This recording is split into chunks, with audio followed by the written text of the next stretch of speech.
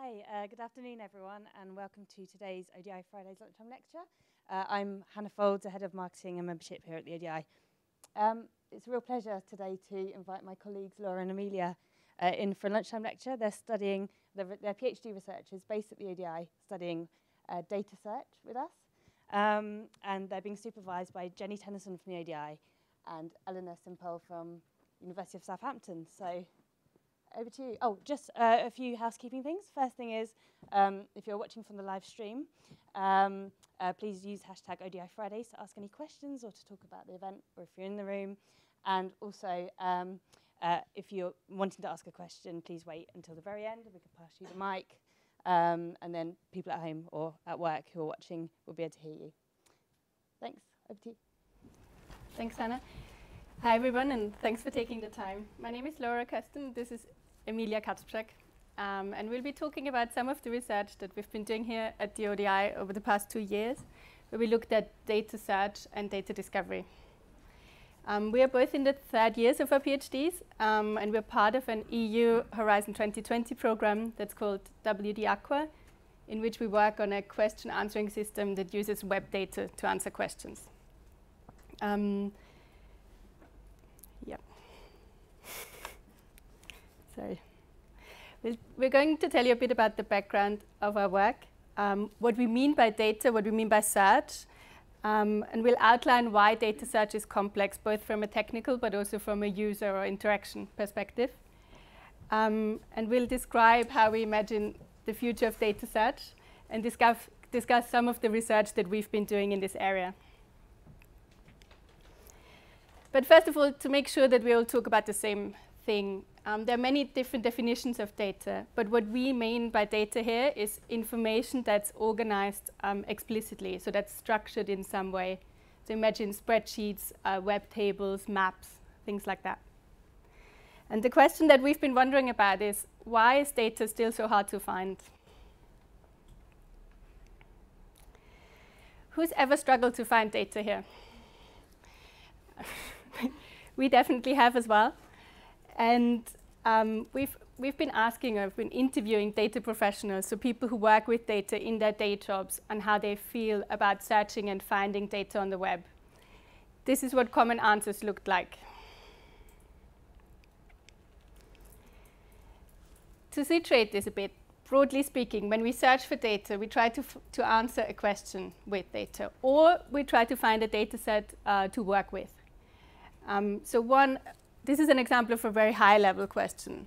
Can we find links between Trump's political decisions and his personal business interests? Um, so the problem with such a question is that it would need to be broken down into several sub-questions. Um, and these would be the types of searches that people do to answer such a question.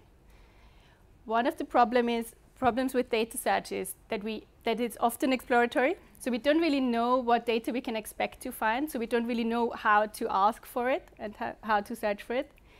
And in the case of our question, we'd probably find, um, try to find a data set that ha has all the um, that lists the company companies owned by the Trump family, and also a list of all the executive orders done during the Trump administration and relate them to each other. In reality, we'd probably also try to find different other data sets and add them to it um, depending on the actual detail that we'd want to find out. In addition to talking to data professionals, we've also um, done a search log analysis. We looked at the logs of four national open data portals, including the Office of National Statistics and DataGov UK. And we looked at the queries. So queries are the keywords that you type in into search engines in order to find what you're looking for. And we found that people search for data differently than they search for, for traditional websites. So we found the queries are shorter, people ask less direct questions, and they also um, put more temporal information in the query. So that means they specify a year or a time period that the data talks about. Um, just to understand why it's so hard to find data, we are going to walk you through a number of challenges uh, that people need to need to go against. Some of them are purely connected with the technology that is used to build data search functionalities, those could be summed up in three points. Uh, data is often hidden in files that are not visible for search engine. That means search engines cannot see the content of the file, and the only thing they can rely on when searching for, for such a content is the metadata that is provided. This results in vast majority of data not being indexed by search engines, and it doesn't really matter what kind of query you put, they would be just not found. Uh, Google, and obviously other web search engines, are not directly indexing um, the, the, content that is structured data. They, they, they, they are built to structure to index web pages, and these web pages containing only mostly text. And this was the this was the prim primary idea for their functionality. So when we think about structured data, we cannot index it straightforward in exactly the same way. Um, and the last one, the data set is conceptually different. Search functionalities um, need to mirror the fact that we think and use data differently than other sources of information. For example, when we need uh, to answer a question or a task that we have with data, we often need more than one data set, as we showed earlier in the example. Uh, this indicates that we need to rethink how search should um, on how, search for data should work uh, in terms of indexing, ranking, and presenting the results to the user.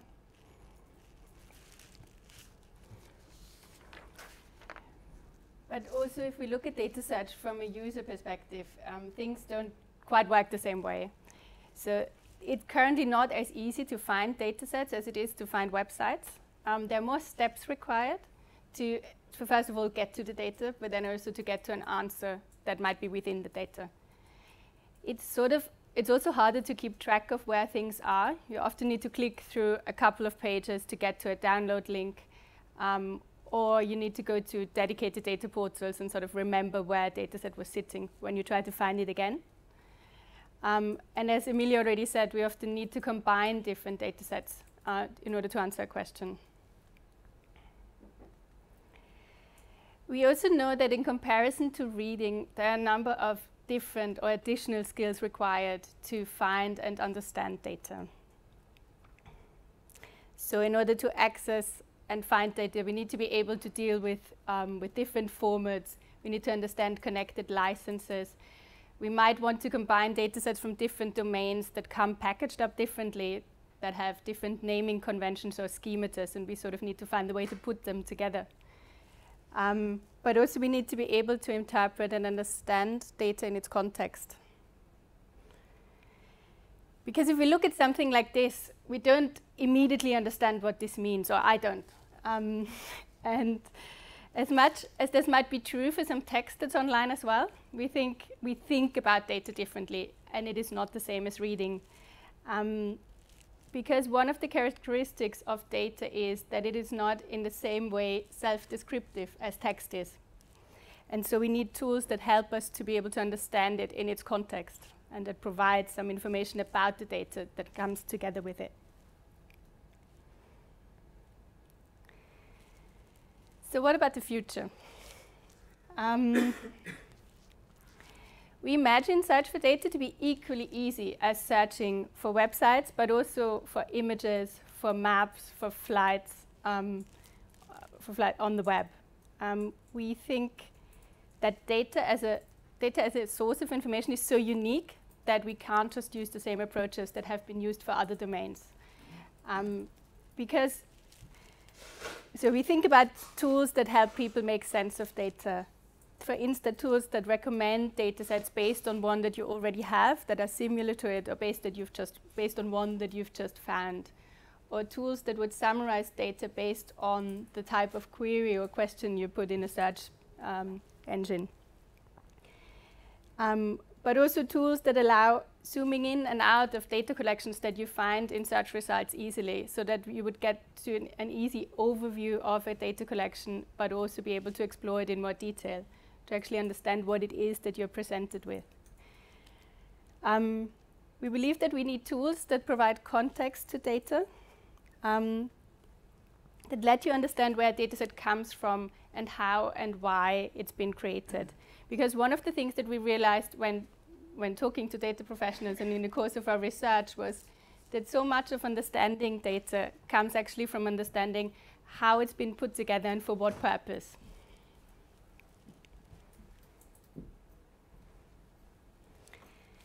Some of you might ask the question of why this is so relevant or why an organization as the ODI invests in such research. Um, I think the answer is quite simple. If we make data easier to use um, and data search better, data can not only be used by, by a small number of data professionals or fairly technical people, but by many more. Um, and so we would yeah. So we think we think if the, if access to data is easier, and if we remove if we remove the barriers that we currently have between people and data, then we make data truly open.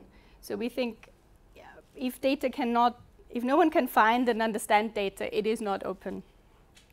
And with the growing amount of data that's been put online, data search is becoming more important and is sort of becoming an essential part of a general data infrastructure.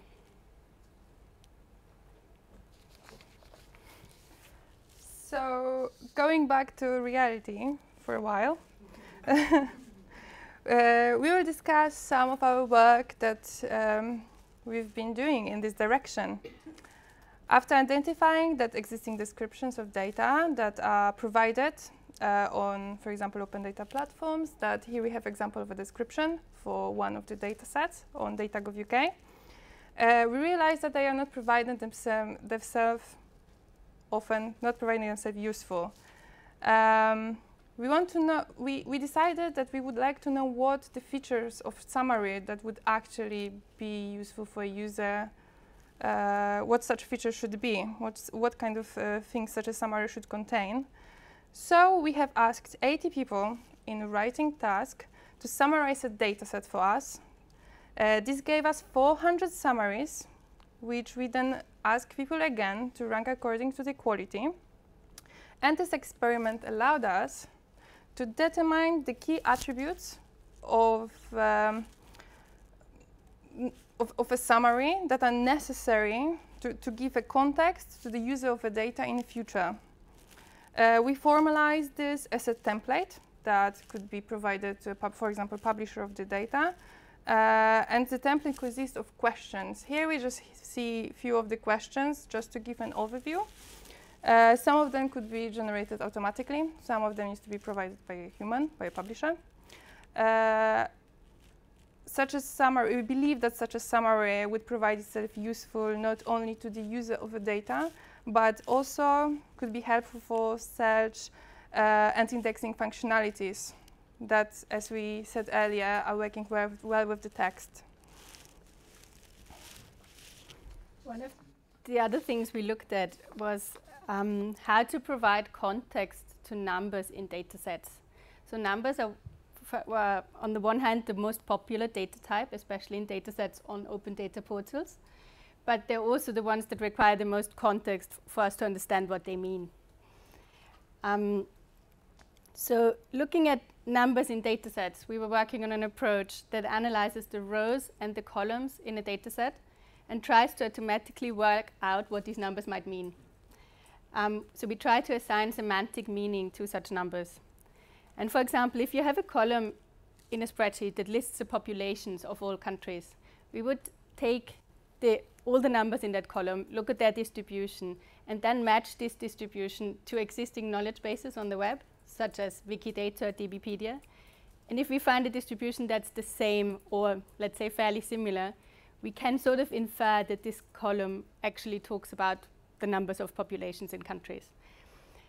Um, approach is a bit more complex than that, but that sort of describes the idea. And so the, idea, um, the aim is to automatically understand what numbers in datasets are talking about. Because if we can do that, then we can store this information together with the data in, in the metadata, and it's easier to find. Um, So yes, both the, both the summaries that Emilia talked about and these semantic labels to numbers in datasets, they both, both of these information could be added to existing metadata. And we see metadata as the point of interaction between a user and the dataset, but at the same time, the point of interaction between a search engine and a dataset. So it is in both cases really important for data search. And the, the general aim of our work was to understand, or is to understand, what is the right amount and what is the right content of information that should be stored together with the dataset in order for it to be searchable. And with this, we hope to build on and extend existing metadata standards. Uh, so in summary, data search is complex, both in terms of technical approaches and from interaction point of view. We hope it will mature as a research area, hopefully soon. in our work, we try to look at some of the aspects that could improve data search by analyzing how people uh, look for data, how people search for data, uh, what summaries of data should look like, uh, how to understand the context of numbers in data sets, and resulting from all above, uh, ideas for data, uh, metadata guidance, guidelines. Um, that's all from us today. Thank you for coming and thank you for listening.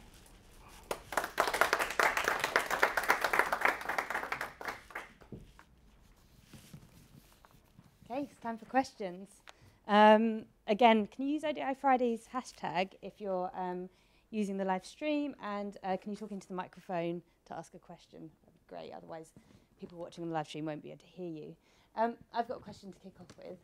Uh, here's one I prepared earlier. Um, what can large data portals do to um, improve how people use them to search? I think the main thing they could do is to like to work together um, with researchers or with organizations li like the ODI and sort of work on removing the barriers that are between people want this is very much a new a new area where we can still try many things out and it's not set how we don't really know how data sets should be presented in such uh, in such results for example. Um, yeah and sort of removing these barriers and making such collaborations easier would be one thing. Thanks. Question here could you give us some idea what it, uh, about semantic labels for numbers? I mean, is it more than big, small, or medium? A semantic label. So, semantic label in our in our context is when you look at the, at data set, you have number of columns, and uh, each column can be described by a concept that is well known in semantic web. So for example, we know that this population in a specific column is exactly the same population that is in different data sets and also that is in, for example, Wikipedia, which is described in DBpedia or Wikidata uh, database or knowledge base. So we would like to, um, or like the, the in ideal, ideal wor world, we would see everything connected to the same concepts that, uh, that everybody understands and can search for so, so for example, we have column population or for uh, column with countries of European Union, for example, or, or yeah, so we, for example, know that these are exactly the same populations. Maybe numbers are different, right? Because information can differ between sources, but we know that this is what we mean by this specific number in opposition, in opposition to just having a number. So I actually misunderstood. So you are, the, the semantic element refers to the labeling of the set rather than uh, some kind of indication of the actual values of the numbers. Because obviously it's very difficult to get numbers to be the same. They'll always be different. Yes, but we can know what the concepts, what, what, what is the concept of this number. So we, we know that these numbers mean population, for example, of cities in this specific data set. Is there any way you could assign uh, some sort of figure of merit? If, if you have a population list, for example, mm -hmm. it, could you assign uh, some sort of word which says how similar these lists are or how different these lists are? Which one might you not trust or something like that? So I think it's very much dependent if you trust the source, right? So if you, if, if you trust the publisher of the data, for example, in terms of open data portal, if you trust Wikipedia as a source, some people might say, might say, oh, I don't trust Google Maps because Google or something, some, something similar. But I guess nowadays we all need to validate the data that we look at. So, so you just need you, you just need to make the educated guess if the data is trustworthy.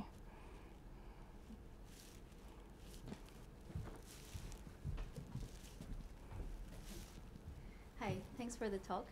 Uh, you mentioned these summaries you were collecting from people, and, and I was wondering how these summaries are going to be used uh, for the data sets you're describing. How could they um, help? Um, yeah. Um, yeah, so the summaries, so from a research perspective, we just want, we wanted to find out how do people describe data sets.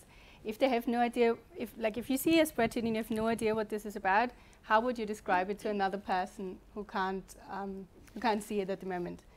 Um, but they would be used, um, first of all, they're meant, they're meant for data publishers in order to put context or um, to put to context to the data set and has been proven in, in web search we use snippets of text. So in search results you get these little elements of text um, that help you understand what the page is talking about before you have to click on it. And so they would, we would like these summaries to act as guidance for, for data publishers on how such a summary should be written. What should it contain? What are the different elements that should be there so people can understand what the data set is about without downloading it. But um, what we would like to do is to create a tool that takes the elements of these summaries that could be created or extracted automatically from the data and provide provides them automatically and then only input um, the elements that are not as easy to automatically extract and sort of help people. If something like that would work, um, then it would be much easier to create good quality summaries for a larger scale of data sets. Um, yeah, and so the, the idea behind it was is that we we know or research has shown that we actually find it quite hard to create free text without any sort of narrative structure or any guideline. Um, and so starting with such a guideline was what we were trying to do here.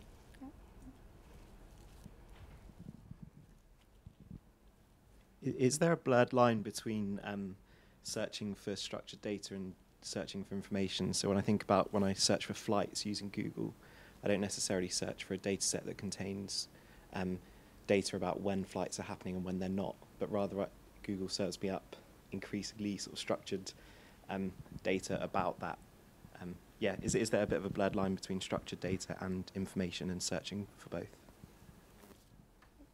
Um, yes, so that, I mean, if you talk about flights, true, uh, give that example, we, it is structured data, but the, the difference to the scenario that we are talking about is that with flights, you know, we know exactly where that data is. And we also know exactly what, what people want to know about it. So it's much easier to build applications that work for a set scenario where we know what the data is, we know what people search for, and we can sort of create um, functionalities around that. Whereas in it's a bit more like searching within the spreadsheet even, or, or within the database. Um, whereas in the scenario of the like of the open web is we don't know where the data sits. It comes in different formats, and it's there's no schema behind that. So it's much much harder to actually get to the data. That answers your question.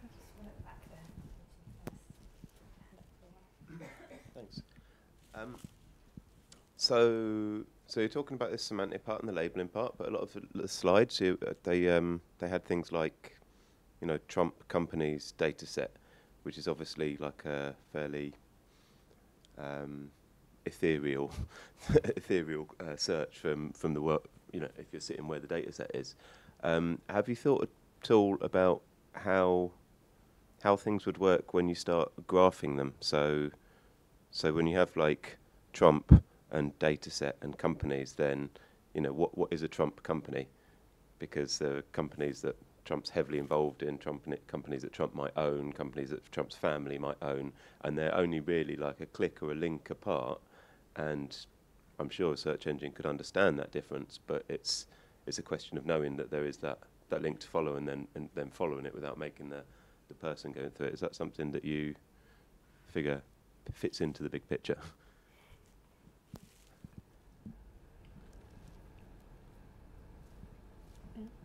So we've we've been focusing on how to search for. I don't know if I understood correctly. I'm sorry. Um, how to search for what kind of metadata could help users to to to to input such a such a, such a query as, for example, Trump companies. But then, depending of the task, you would you would want to assess which which companies you actually want to take into account, right? I I don't. Um, thank you. Uh, kind of, yeah. But with um, with with the textual web, you do a Google search and then you might follow a, a couple of clicks through. Mm -hmm. um, so something like related data sets. This is what you mean. Yeah, related, but not necessarily related, but in a in a very specific, mm -hmm. predictable way that a computer would actually be able to realise, like, oh, and this company is owned by this company, which is owned by this company and they have directors. Yeah, there's there's a lot of reasoning to do in, in such a case. I know that research is looking also how to how to do such a reasoning uh, over semantic web, but I think with data that is not in the semantic web, that it's very much we don't really know what is inside datasets yet. So so clearly, I think we are not that far yet with with for example open data or or, or not always. Maybe some of them would would work, but um, I don't think we're there yet. Okay, long way off. Cool. and I guess one of the reasons we haven't been we, so we haven't been looking in that direction, and I think one of the reasons was that when we started, we looked at what are actually the most pop popular data types, and it, we found that on open data portals, it's like roughly two percent of RDF data sets. So we tried not to focus our our research um, in the, too much in the semantic web area. Too.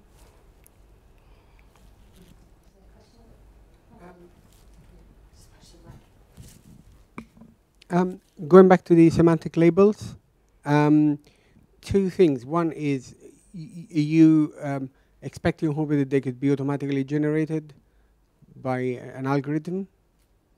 And and second, do you see them the semantic label? Do you see them structured in a in a sort of Dewey classification sort of thing, or or or otherwise, what sort of structure would the semantic label have to maintain consistency, be useful throughout a large number of data sets?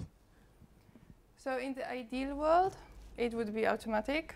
Probably it's the, the um, how in the real world would work. It would work now. It would be semi-automatic that we suggest a list of the most probable labels for a given concept.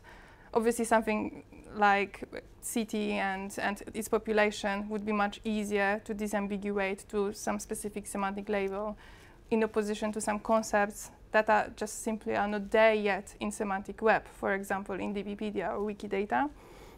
And in terms of what, how such a semantic label would, would, look like, it's um, so in our work we looked how to how to disambiguate specific columns. So every column would be uh, disambiguated to a property or a class.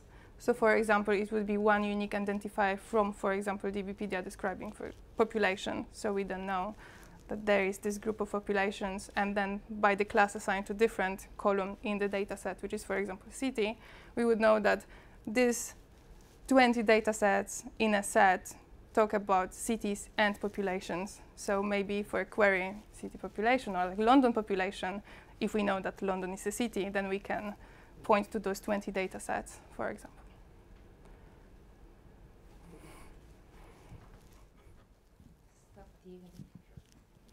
Hi, um, I missed the first part of your presentation, so I'm not sure if this question is really relevant, but anyway. Um, I get the impression that you are trying to push for a standard for metadata. Um, I was just wondering if uh, if you could uh, give us a an example of an organ, maybe an organization or maybe uh, a, a, local government or national government, which you think is like you know the gold standard or one of the best standards for all of this. Like, uh, as you're you're saying that semantic and metadata. The reason I ask is that I think um, your research has the assumption of you know really good struct of really good structured data, but the reality is also that's the ideal world. But the reality is that a vast majority of of of uh, data is very much either unstructured or uncollected. Um, I'm just um, you know coming from my from my perspective. I come from from the Philippines, a developing country. Um, date collecting data is still not uh, part of the priority or even in the mindset of our local officials. And it would be great to see like okay if we if uh, you know uh, as we shift into to collecting more data, it'd be great if we try to as much as possible like at the early stages even you know structure it at, at this kind of, of, of, of level. So that's just my my question. Like essentially, if you've got like a you know a gold a gold standard, a good standard for for for uh, starting organizations, so they can look into it. If if you, for example, think of a summary, I don't think data needs to be very very clean. If in in this case, if it's maybe the automatic generation bit wouldn't work as as, as, as, as well as on a very nicely structured data, but still user, user summary for a user could, could be done for every data set and it would already improve the user experience when searching. And maybe to add to that, so the, if the data sets we've used for this summarization experiment, they were not necessarily clean. They had missing values as well. They had the formats of dates were, mi were mixed up, and that was intentionally because what we wanted to have is realistic summaries of, of the actual data that is there, that, that they didn't assume um, clean or extremely structured data. But I think in terms of standards, I mean, there are metadata standards, and I don't know, for example, DataGov is using something based on DCAT. Um, but I think our, or, or schema, yeah, schema.org. But um, the things that we looked at was if we try to think about what makes these standard, these existing fields in metadata standards, what, how can they be really used for search and what could we add for things to be more understandable from a user or from an interaction perspective? How can we take a step like further and think of what is missing there, what could be added to that. We're not claiming to, we're, we're not creating a, a, standard per se, we're just looking at standards and saying what could we add that would be more useful or improve um, discoverability of the, of the resources.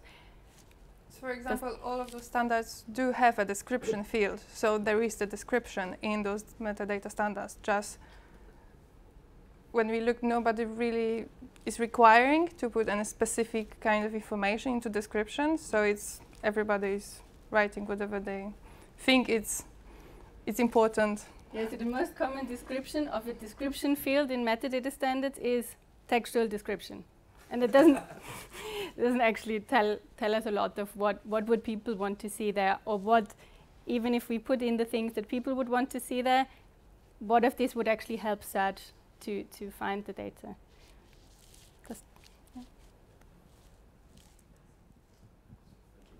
Um, so I thought the template you came up with was really interesting. In particular, the first question, which I think you say that you got people to say which which variables they thought were the most were the most valuable or interesting. Um, if you're going to summarize, uh, like if you're going to like look at getting some sort of summaries, would you would you sort of um, would you determine which ones were the most important programmatically? Would you just sort of say see like what these people have said and say, oh, in general, people find this type of information uh, interesting, so that will be the sort of thing we prioritize in the in the summary. Um, I mean, yeah, yeah that, that's a really interesting question. This is something we've been wondering about as well, because this was like the first of a, of a step of sort of experiments that we would like to do. But what we found is that for all of the data sets that, for all of the summaries that we had, almost everybody had a like one sentence high level like subtitle or description of what this data set actually talks about. And these were, would be what we would for now define as the key columns or as the, the subject columns. There are also some ways of automatically determining the subject column of this is the main topic of a data set. Um, or it could be determined by the publisher or by the person who created the data. But yeah, that's a question we, we've been wondering about as well. Yeah.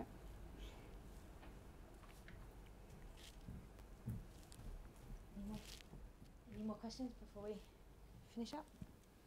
No? Uh, thanks everyone for coming. We've got a three week break for Easter, so we're back on the 24th of April. Um, can we just give Laura and Emilia one last round of applause?